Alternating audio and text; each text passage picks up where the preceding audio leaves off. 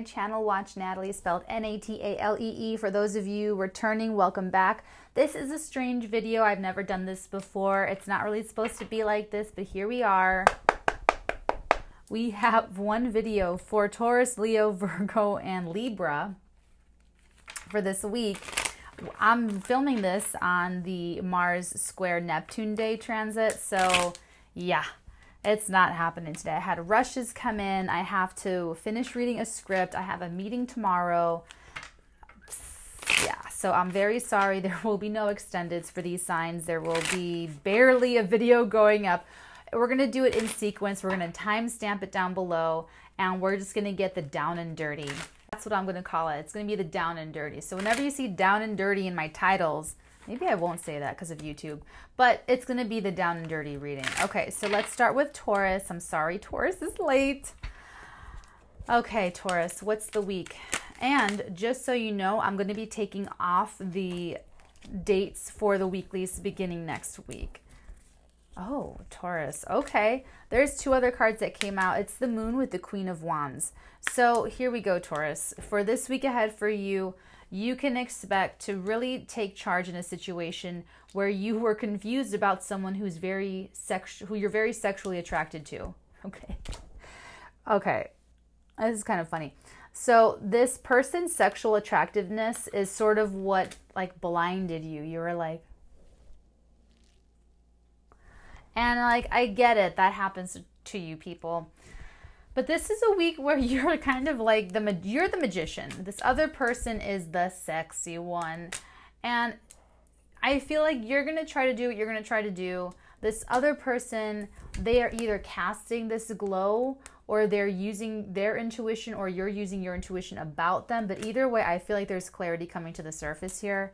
There's going to be clarity around something between you and this person. So let me just get one more energy for Taurus to see how it ends. Yeah. I'm taking the top of the stack. Ooh, and there is a judgment beneath that. So there could be like the ultimate decision where you like kind of finally decide one way or another what you think about this person. And it's going to be romantic. You're going to go with how you feel about this. And it could even be that it's in the reverse, like the sexual attractiveness of this person was kind of influencing your emotion. Like, I can't trust this person. They're too good looking. Something weird like that. But either way, by the end of it, you're going to have a conclusion that you're going to feel very happy about and very comfortable with. And like I said, it's because you're in this position of like, I'm not, I'm not here to mess around. Like, I'm going to trust you or I'm not going to trust you. I'm not going to sit here and not know. Okay. So these are all going back in evenly distributed. So you guys know there is no double. See? Boom. Okay. Taurus is done. And then now we are moving into Leo's energy. Yeah, I'm not spending too long on these guys.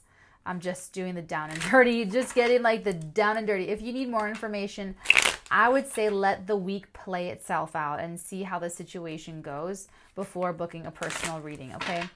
Okay, Leo, what do we have for Leos this week, please? Look at that. The and then beneath that, we have the sun. Perfect energy for you, Leos. Very, very beautiful. So we have here an approach. We have an offer. You're going to feel really good this week. There's something coming in for you, Leos, that's really heartwarming. And it could be news about how someone feels about you. So you're having a great week. This is off to a good start. Let's get the next energy for Leos, Sun, Moon, Rising. Yeah, and I feel like it's going to be what someone tells you that you are the perfect partner, you're the perfect person, you're the perfect match. And then we also have the Ten of Cups and the World here. These kind of all came out together, kind of spaced apart really interestingly on the desk here.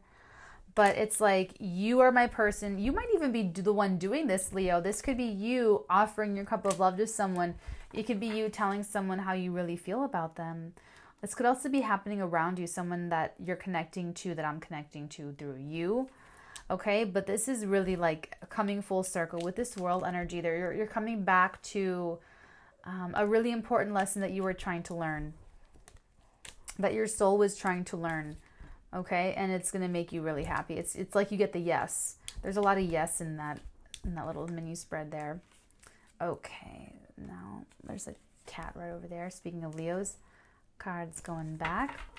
So that's a good week for you, Leos. My goodness. Okay, Virgs. Virgos are up next.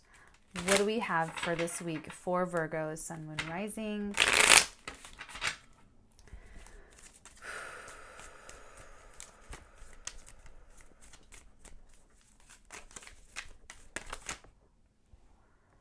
the Knight of Swords, and there's another card here. What is it?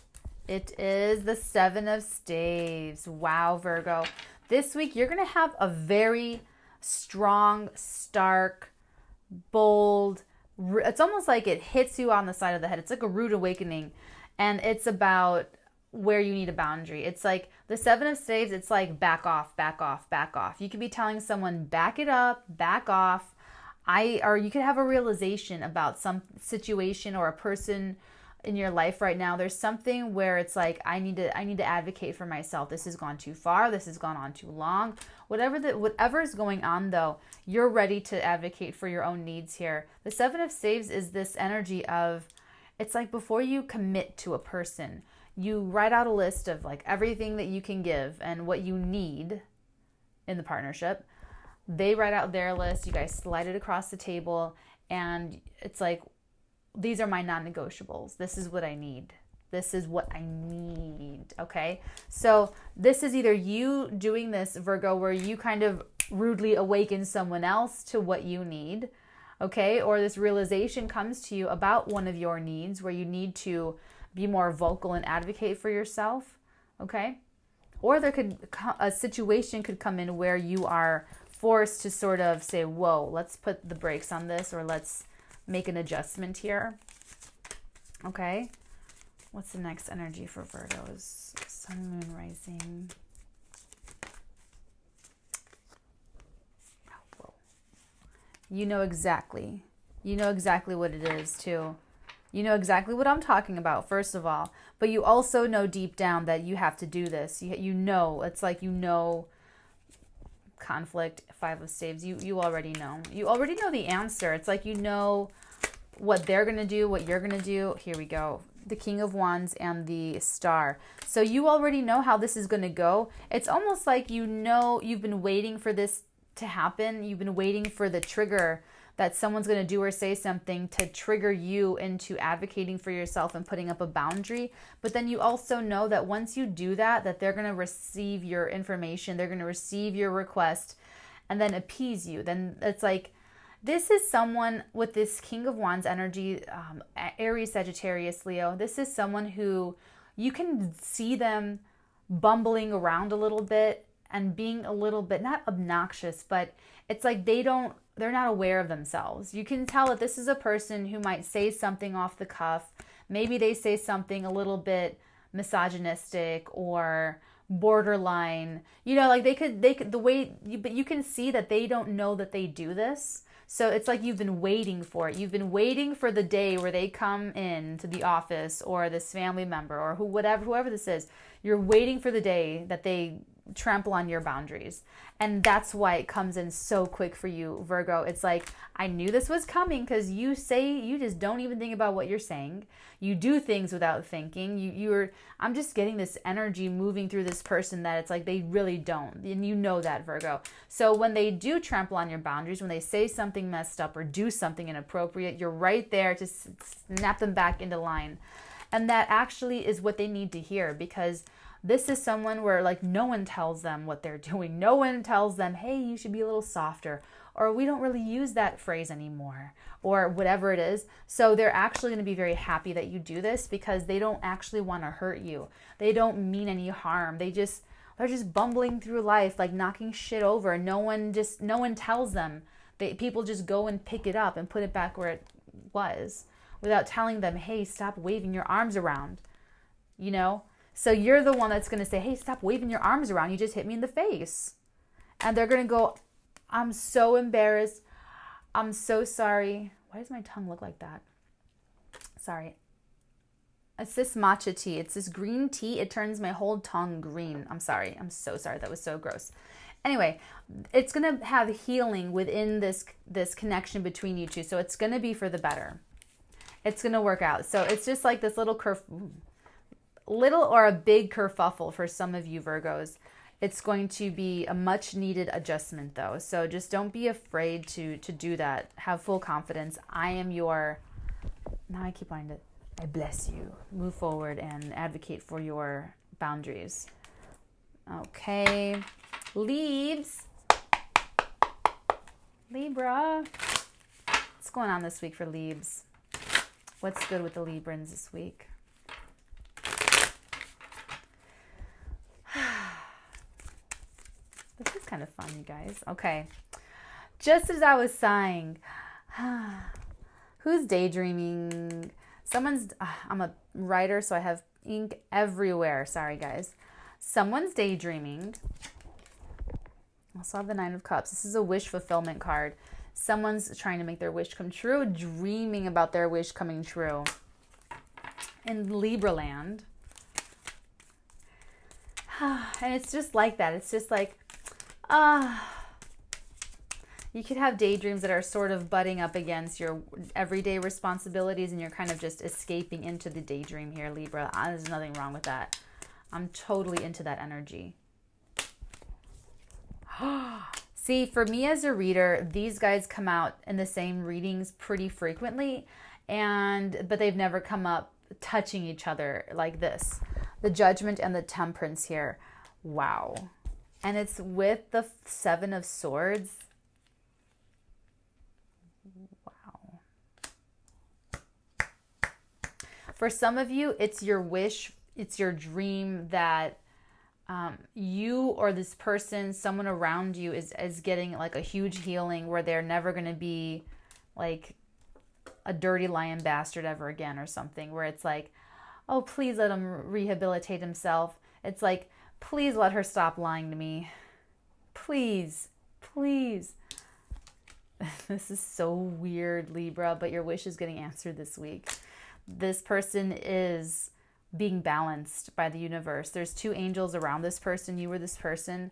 It could even be you um, that you want to like fix a part of yourself. It's like a wish about yourself. And for if it's about you, Libra, this is a way of thinking. The 7 of swords is like very foxy, very very clever energy. So if this is you, if you have this wish about yourself this week, Libra, then you're going to come into a really beautiful energy of balance and peace. And it's like, I'm done thinking. I'm done thinking kind of like this. It's really, you know, it's so funny. It's like you're using this energy differently, where instead of idealizing and instead of imagining the best in other people, and it's like that's the deception that you thought they were so great, and then they come down off their pedestal and they disappoint you. It's like instead of doing that, you are healing the way you're thinking about people or about or when you're using that thinking you're thinking more strategically. Not strategically i take that back. You're thinking more with like common sense. It's a common sense type energy. And you are you're going to be happy with yourself too because with the 7 of cups and the 9 of cups it's a lot of water energy it's a lot of emotionalizing the intellect and what we have in the Seven of Swords, reading it upright and full of integrity, this is a way of thinking where no one can put anything by you because it's almost like you're thinking from a con artist perspective. And so you're you're just being realistic and rational, but also a little bit strategic and clever, like very foxy, smart, you know, like real smart, smart, um, foxy smart. And so you're going to get that this week. If this is about someone around you, it's like you have this hope and wish for them. You want their wishes to come true, you want your wishes to come true. And it's like you know they're deceptive. And you can also identify in them how they can turn this energy around. And they actually do get help. There's there there's it could be ancestors, angels, or both. I mean, I'm just drawn to the wings. Look at how the wings are actually like right next to each other, the blue and the red there. Like it's just really powerful with this other presence. They're major arcana energies and they're also just really big energies with these angelic wings. So it's spirit guides, it's ancestors, it's their own higher selves, it's their own higher higher versions of themselves. It's like where they're ready to meet themselves. That's what I'm getting from this. Down here, that they're ready to meet themselves. They're ready to confront themselves. They're ready to you know, balance out themselves in terms of their integrity, standing in their own wisdom, standing in their own, you know, it's like they're going to be personally ready to put down the ways they were deceiving themselves and, in effect, deceiving you this week. Wow, you guys, that was fun. that was so much fun. Thank you for joining me in the Down and Dirty weekly tarot readings for Taurus, Leo, Virgo, and Libra. Feel free to comment below any suggestions. Um, I'm trying to rework my schedule again because when I get super burnt out in the weeklies, I yearn to do more personal readings. When I put the load in the personal readings. I really yearn to get back into the weeklies and check in with your energies sign by sign. So I might do two weeklies a day next week instead of three, and then maybe try to do personal readings. I don't know. I have to work it out. I'm very open and very open minded, very flexible. So feel free to let me know what you think about all this or if you have any strong opinions one way or the other in the comments below. Um, and I will see you guys next week. So, again, there are no extendeds. This is just your weekly, weekly message. If you'd like a personal reading with me, you can do so. You can book me at thearteagan.com slash shop and you can add yourself to the queue and make sure your questions are really, really special because it will be a wait very likely a wait. If this is a pressing issue and you really need it now, I really recommend adding the rush. You'll get it within 24 hours and then it's like you get like right to the front, okay? So that's only for emergencies. I didn't pick up anything in these weeklies that tell us that these are emergencies. So I would wait the week out, see how you feel, and then we'll just kind of go from there. So I hope you guys enjoyed this, got a lot out of it. I love you forever, and we will talk next week. Bye.